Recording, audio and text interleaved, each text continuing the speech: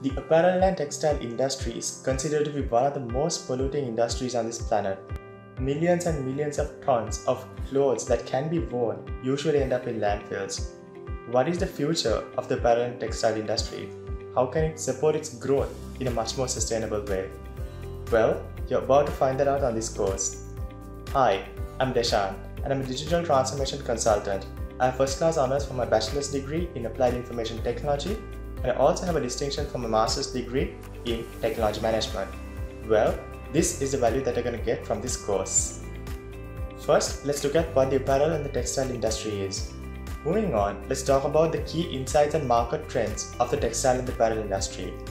Next, let's talk about a few challenges of the textile and apparel industry. After that, let's talk about the opportunities for innovation. So how can we bring innovation into the textile and apparel industry to accelerate its growth? Next, let's talk about something very interesting.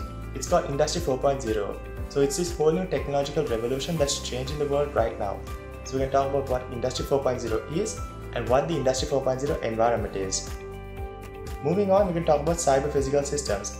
So these are smart systems which are able to self-organize, self-optimize and self-learn with minimum human intervention. So we're going to talk about the benefits of it, the characteristics of it, as well as the drawbacks of it. After that, let's talk about the impact of Industry 4.0 on the textile and the apparel industry. So how is Industry 4.0 transforming the textile and the apparel industry? Moving on, let's look at what a smart factory is, the future of manufacturing. Next, let's look at a few innovative startups and businesses in the textile and the apparel industry who are game changing the world out there. After that, let's look at the barriers of implementing Industry 4.0 so what's holding us back from implementing Industry 4.0? And finally, we're going to talk about the drivers of implementing Industry 4.0.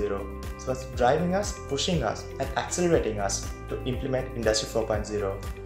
Well, if you're a professional in the textile and the apparel industry, or if you're someone who's learning about the textile and the apparel industry, or if you're someone who's really curious to know about the future trends of the textile and the apparel industry, this course is just for you. Don't wait, jump right in. I'll see you on the first lecture.